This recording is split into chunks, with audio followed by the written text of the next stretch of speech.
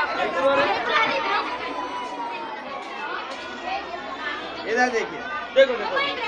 छोड़ दो बच्चा को आप लोग भी कर देखिए